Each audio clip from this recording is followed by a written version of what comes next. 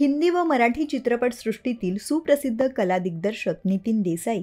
यांनी आज कर्जत येथील एनडी स्टुडिओमध्ये गळफास घेत त्यांचं जीवन संपवलंय. त्यांच्या आत्महत्येचं कारण अद्याप समजू शकलं नसलं तरीही त्यांच्या आत्महत्येने संपूर्ण कलाविश्वाला मोठा धक्का बसला आहे. नितीन देसाई यांच्या आत्महत्येनंतर त्यांचे कुटुंबीय व कला जगतावर शोककळा पसरली असून अनेक कलाकार मंडळी सोशल मीडियाद्वारे त्यांना श्रद्धांजली वाहत आहेत. अभिनेते व दिग्दर्शक प्रवीण तरडे हे नितीन देसाई यांच्या आत्महत्येनंतर प्रतिक्रिया देताना भाऊक झाले आहेत. कला दिग्दर्शक नितीन देसाई यांच्या आत्महत्येनंतर प्रवीण तरडे यांनी झी चोवीस तासला प्रतिक्रिया देताना एक खुलासा केला आहे. प्रवीण तरडे यांच्या आगामी चित्रपटाचे कला दिग्दर्शन नितीन देसाई करणार होते. त्याबद्दल बोलताना प्रवीण म्हणाले एनडी मला म्हणाले प्रवीण मी या चित्रपटाची निर्मिती करणार. एनडी स्टुडिओमध्ये मोठा सेट लावला आहे. तर अचानक अशी माणसं जात आहेत आता ज्यांना एनडी जवळून माहिती आहे तेच फक्त बोलू शकतात. हे सतत स्वप्न पाहणारे माणूस होते. मुळात आधुनिक चित्रपट सृष्टीचा तो विश्वकर्मा होता. नितीन देसाई हे एक नवीन आणि वेगळे जग निर्माण करायचे. ते जग आता नाही दिसणार.